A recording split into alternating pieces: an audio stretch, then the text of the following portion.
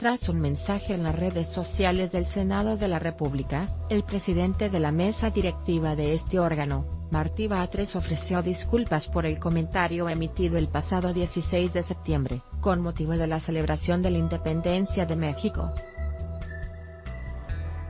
El mensaje causó disgusto entre la comunidad en Twitter, en donde se reprochó que el Senado respaldara el mensaje del presidente electo, Andrés Manuel López Obrador sobre la cuarta transformación a la que refiere con la entrada de su gobierno.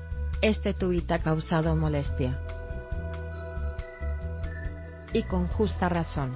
No es institucional. No fue ordenado por la mesa directiva del Senado. Hoy instruiremos al área de comunicación social a realizar una labor institucional en la comunicación oficial del Senado, escribió Batres en su cuenta oficial. Ante las críticas en la red, Martí Batres reviró esta mañana reconociendo que el tuit no representa la imagen institucional por la cual se debe regir el Senado. A 208 años de la independencia de México, el arroba Senado mexicano adquiere plena legitimidad rumbo a la almohadilla cuarta transformación de la República. Vamos a lograr el resurgimiento de la grandeza de nuestra patria, se lee en los comentarios de la cuenta de la Cámara Alta. Ante esto, el senador electo del PRD, Juan Cepeda dijo que fue una novata sin duda aunque señaló todos vienen con el ánimo de construir y espío no vuelva a ocurrir.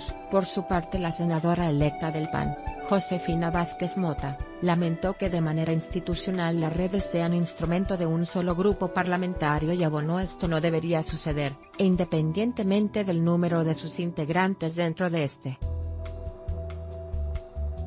Margarita Zavala, ex candidata presidencial, en su cuenta en Twitter pidió más respeto al propio Senado de la República, mientras que Miguel Ángel Osorio Chong, señaló esto es inaceptable, pues detalló el Senado es patrimonio de las y los mexicanos, no de un partido, o una mayoría y viola alineamientos de comunicación y supone distracción de recursos.